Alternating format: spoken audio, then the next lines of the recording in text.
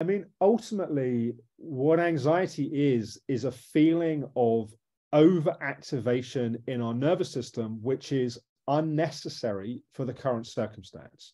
So there are certain places that being Uh, having an activated system is appropriate. And I think many people will be familiar with the work, particularly around trauma and around going into a fight, flight, or freeze response. So we're not talking about here being in a situation where there's physical danger or genuine psychological danger, where having that activated state is helpful.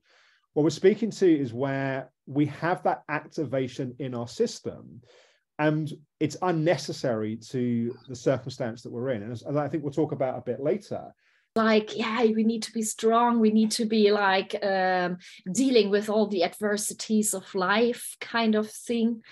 And yeah it's it's like it seems to be a good thing to be resilient it's both of them. Yeah. One distinction that i usually make around strength is that it's not the same thing to talk about strength and hardened. Because particularly in women i see a big difference between oh yeah she was a very strong woman my grandmother my mother or even yourself right? When what we're actually seeing is not necessarily someone who's strong in a sense that i build robustness that capacity to be with what is and flow either in, in an active or a non-active way rather that it's a hardening where i stop feeling.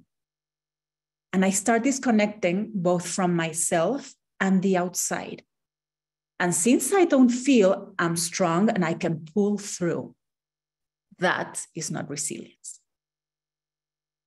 That is disconnection, that's numbness. Really Trauma based. It really has to do with all forms of trauma childhood trauma, adult trauma, historical trauma, collective trauma, uh, trauma related to, you know, uh, unfortunately, sadly, various kinds of injustice and, and injustice and oppression and so forth. But, you know, just the trauma of life uh, which which you know uh, we we want to be clear human beings can deal with trauma and it can be we can leverage trauma for post-traumatic growth as part of human evolution. But nonetheless if we don't have a safe place to do our healing work in trauma can be incredibly debilitating. And we now understand that all these illnesses are uh, and these mental challenges are really trauma based so the good news about psychedelic assist, psychedelic experiences altogether properly held and psychedelic assisted therapy properly held is uh, it, this is pretty complex but i'm going to simplify it into into kind of two things it does.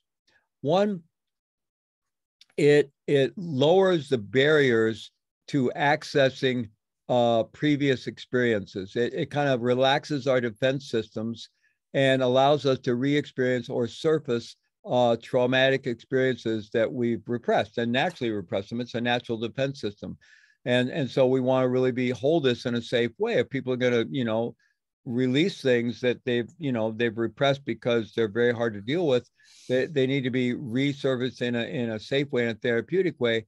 And it appears that these substances like ketamine assisted therapy and mdma assisted psilocybin assisted therapy do really help people uh, re-experience these things but in a different way yeah, so there's this idea of resilience of kind of like, hey, it's me, little me versus the world, little isolated individual cut off me.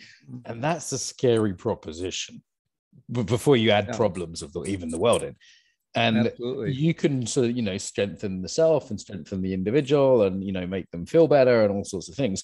But more radical than that is giving this oceanic experience of oneness with everything where there isn't that sense of threat where there isn't that kind of isolation which is the which is really at the core for a lack of resilience